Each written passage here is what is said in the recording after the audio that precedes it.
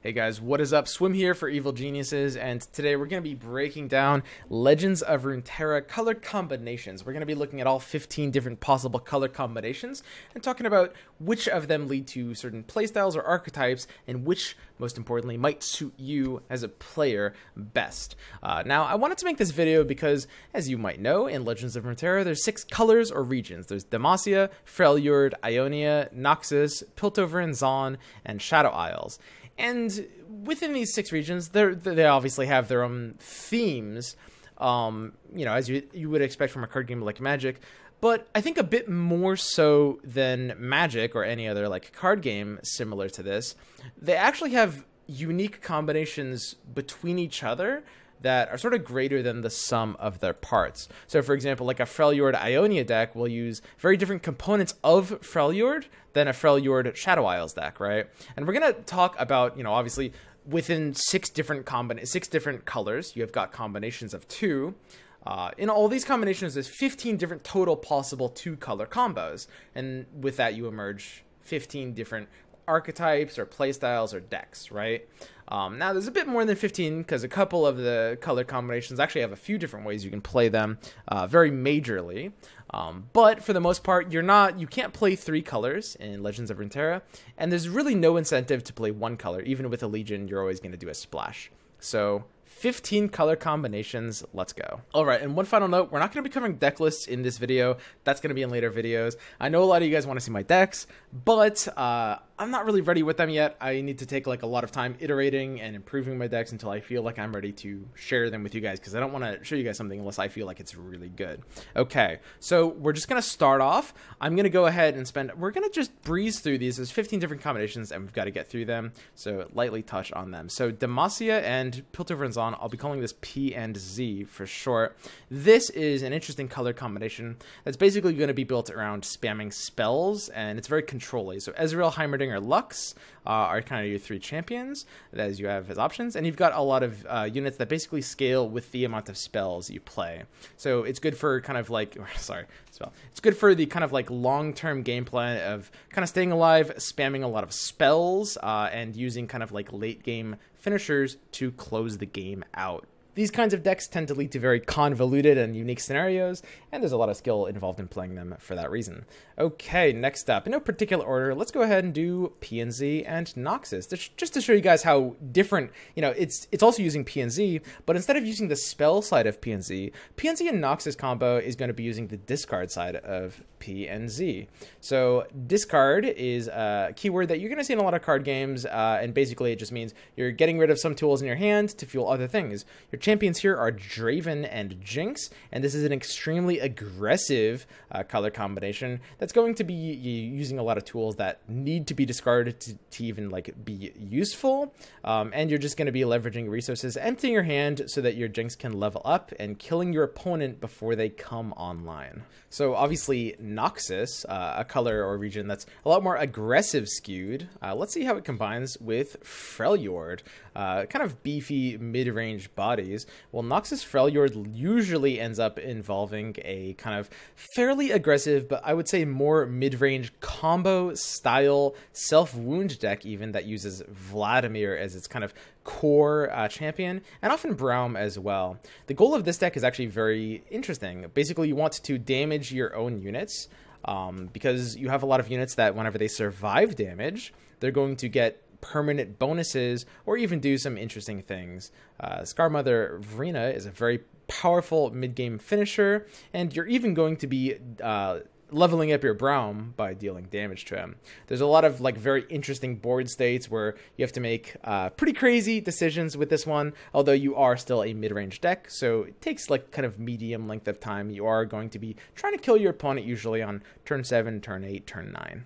Okay, next up, let's see how Freljord's large dudes combine with Shadow Isles. Shadow Isles is a very interesting alliance. They're kind of necromancy, like death magic They usually sacrifice their own units, um, and when you combine these two together, you get uh, often the kind of late game controlly deck uh, with some interesting combos. So most late game deck we've talked about so far for sure. Uh, and Tryndamere is going to be an extremely powerful, reliable finisher. Freljord uh, gives you power when you hit the late game, and Shadow Isles can control the game to a decent point to allow you to, you know, not die too early. Anivia is a very, very powerful champion here in this color combination because you have a lot of Shadow Isles cards that are going to be able to grant Anivia an ephemeral copy, which will create a new egg and sort of clone indefinitely in that way. Uh, but basically, you're looking at kind of a late game control archetype that's going to be sacrificing a lot of units while kind of stalling the game out, ready for a big finisher. Ultimately, this is a color combination you can actually use in a few different ways. Some decks, instead of going for like a more like game control plan, are more focused around Anivia uh, and just kind of abusing that over and over again. And there's even some token swarm potential uh, there is the Iceborne Legacy card that can buff everything of the same name, and there's even the Pack Mentality in Freljord that will buff everything of the same group, and that's a really great uh, use with the Spider Swarm, uh, very like kind of token heavy uh, playstyle with like Elise and a lot of her spider summons. So that can be more of like an aggro-y, almost zoo deck. All right, let's see how Shadow Isles will match with Ionia. Uh, so in Ionia, you've got a lot of like your own kind of manipulation-based spells, and the combination of Shadow Isles Ionia usually leads to an ephemeral deck with Hecarim as its leader. So ephemeral is a keyword, which means your unit can only last that round, and you're often going to be using Shark Chariot with this as well. So basically the idea behind this deck is every time you attack with Shark Chariot, it gets the attack in, and then it dies because it's ephemeral, but it revives every time you play more ephemeral allies. So most of your allies uh, in the game are only going to last the turn they attack, but you resummon them and resurrect them through uh, many means, uh, including using uh, Zed's ability, because even when Zed does his attack, he creates the living shadow uh, that is ephemeral as well. So basically, it's very kind of bursty, it's very combo heavy. You can play this deck to a few different speeds. Uh, you can build it as a more aggressive, like very aggro version that just plans on winning the turn it plays Hecarim, or more mid-rangey, a little slower, which is looking to grind down your opponent with sharks. It's actually a very nuanced deck to play. Um, there's a lot going on in this one. All right, so back to Demacia. Let's see how Ionia uniquely combines with Demacia. And uh, Ionia Demacia usually involves the Fiora Shen barrier deck. So Fiora is a very unique champion who, when she kills four enemies and she's not dead, you win. It's sort of like an Exodia. It's like an alternate win condition, basically. So you use Shen and a lot of barrier effects to keep her alive, keep her healthy. And uh, again, you're playing for a unique condition. You're not trying to kill the opponent Nexus necessarily. Sometimes you end up doing that anyway. But if you can have a Fiora protect her with enough barriers, enough spells, you know, you always want to keep this combo close. So you're going to be using spells like Deny. Uh, and a really great finisher is Judgment as well. because of course, when you use this on Fiora and she has a decent amount of attack, you will pretty often win the game if your opponent can't do anything about it.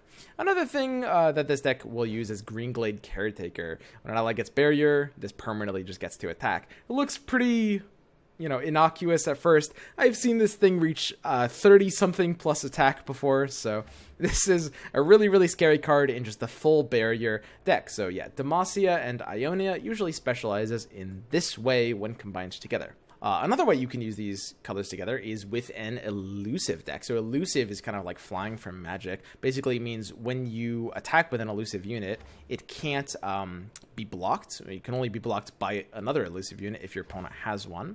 And basically, what that means is you can take one, buff it up quite a bit, and then slap a big finisher on it for sort of an OTK or a one turn kill. So the big finisher could be Relentless Pursuit, which just gives you a second attack. So if you buff it up and then get a second attack, sometimes you can kill your opponent from just like 20 health on their Nexus, or uh, Dawn and Dusk, or uh, which can even triple your value. Okay, uh, on your buff. So even if you have like a seven attack unit, if you create two copies of it, suddenly you're hitting Nexus for 21, which is always going to kill your opponent if they can't block it.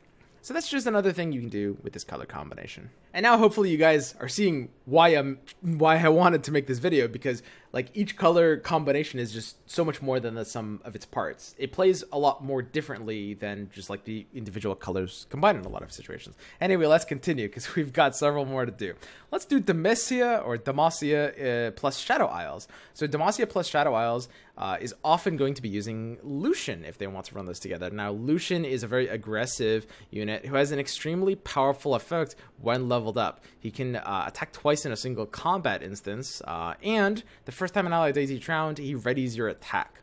So Demacia and Shadow Isles uh, all have a lot of cards that say, you know, when something died. If an ally died this round, an ally died this round. Uh, and you can empower a lot of Demacia cards by basically sacrificing a lot of your Shadow Isles cards. Keep in mind, Shadow Isles has a lot of tokens, uh, and oftentimes they're going to be sacrificing their units for their own means. So a really big enabler for this is going to be Haunting Relic, uh, a very cheap Shadow Isles card that will summon three little one ones that will die at the end of the turn and that will almost immediately activate your Lucian and may trigger a lot of your other uh, Demacian spell effects. Okay, let's see how Shadow Isles combos with Noxus. Noxus obviously being kind of the most aggressive region. Uh, typically, uh, the tie-in here is these spider builds. Now, you guys know a lot of spiders from Elise, but Nox has a few spiders of its own as well. In particular, you know, the synergy point of Arachnoid Host, which buffs all of your other spider allies. So, this is just to kind of tie together. These two have all the spiders. Elise is your champion, and typically, it's going to be a pretty aggressive deck that plays very swarmy. A lot of tokens are going to go on here. Next up, Noxus and let's do Ionia. So Noxus and Ionia is actually a very, very unique combination.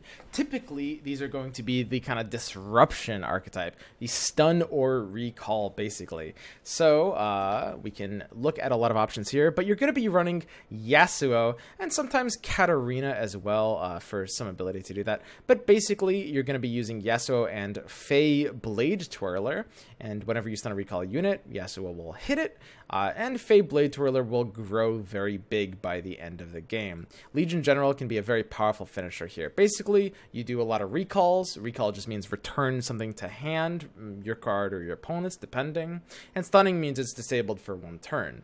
Uh, basically, you're kind of kind of annoying your opponent by not necessarily letting them play their stuff or attack with their stuff and you typically want to stall these on late. I see a lot of people, myself included, because I've messed around with this uh, incorrectly before, but I do see a lot of people run this like too aggressive, like aggro or mid range. And in my mind, this is much more of a late game or control deck. You're just kind of stalling out the game until you know your Yasuo is leveling up, and until you can get to even like Minah Swiftfoot. This is a very, very powerful finisher if you're playing the game at a slow pace. Recall three enemies, it just bounces three enemies back into the hand, and you can just attack with everything. Sometimes your Fey Blade Twirlers will get really, really massive as well. Uh, you're probably going to see these at like 20 attack, and Legion Generals will be at like 15 15. So it's a very, very unique deck, um, and you are uh, buffing and chaining stats like crazy.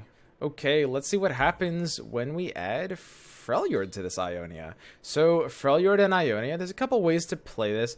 I don't know how much support this necessarily has, but if you want a control Karma deck, this is going to be it. Freljord has the ramp tools that are going to allow you to play your Karma earlier for value at 10 mana. Because Karma, when you have 10 mana, she levels up and doubles the cast of all your spells. So you can go ahead and stall out the game a bit with Freljord's tools like Avalanche, get these mana points a little bit earlier, and then Karma can kind of start taking control of the game in a very kind of control heavy spell castery sort of playstyle.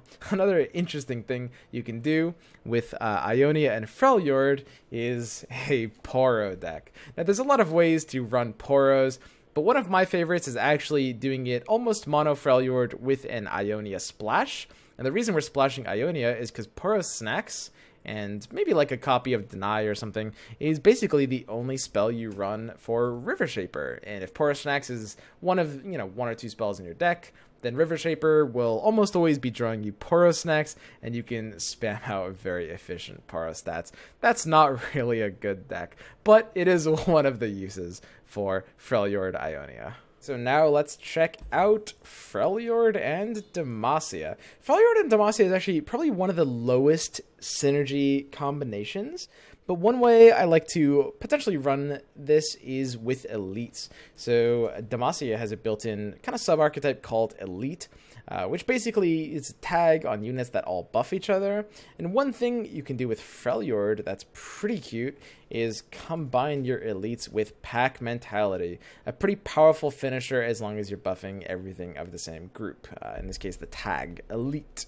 Um, so that can be one way of running the elite build when you take Demacia and when you instead combine it with Noxus, there's actually this is I, I would say probably the single kind of lowest synergy. There's not really anything super unique going on in this color combination, but typically if you're going to be running these together, you're probably going to be running a pretty, fairly like kind of aggressive, not hyper aggressive, but kind of low to the ground mid-range deck, if anything, looking to you know end the game within a certain turn. Because both of these alliances use a lot of cards that can kind of like flood the board and get a lot of early game value. Let's finish up P and Z. I think we missed a couple of things here. So P and Z and Shadow Isles, a pretty interesting combination. You can play this very controlly. Shadow Isles has a lot of like you know spells that might be kind of like triggering your you know Heimerdinger, uh, work its way into a spell deck. Um, but one additional thing you could do, and you know maybe this is not necessarily a super competitive deck, is abuse Professor Von Yip's ability to work with kind of the token swarm of these Shadow Isles. This card is uh, probably not like super high tier, and you know it's just one card. Sometimes it's hard to build a deck around as an entire card because you don't always draw it. But if you get it on the board and it sticks, you're just spamming one cost units with Shadow Isles because again they've got all the tokens. Whenever you basically like play a spider, for example, like every time you attack with Elise, the Spiderling will gain plus two plus two. So it could be you know the start of a sort of token swarm deck at the same time. Now, when you mix P and Z with Freljord, you have uh, basically something that's going to be uh, played as sort of like a kind of late game spellcaster deck as well. Uh, you also have one other kind of meme potential option. I don't think this is probably like the best kind of spellcaster deck. Uh, it seems like not necessarily as good as like combining P and Z with Demacia, um, but Freljord has some pretty decent spells as well. Um, but the other option you could do with this color combination is uh, kind of a little bit of a meme deck, and that's Elnuks. If you look at this card, Troop of Elnuks, and you're you're you have a burning desire to try to use Troop of Elnuks, and there's really only one way to do it, and that's with the PNZ card counterfeit copies. This is obviously kind of a meme combination, but these are a match made in heaven. Shuffle four Elnuks into your deck every time you play this, and sometimes you will have Big Daddy Elnuk pull out his whole family. And last, but certainly not least, we have PNZ and Ionia. And you guys know that this is the Teemo deck. So Teemo is a pretty hilarious build around card. Um, this is fairly fairly, non-competitive, but honestly, it's not impossible uh, to get a pretty decent win rate with a refined Teemo deck.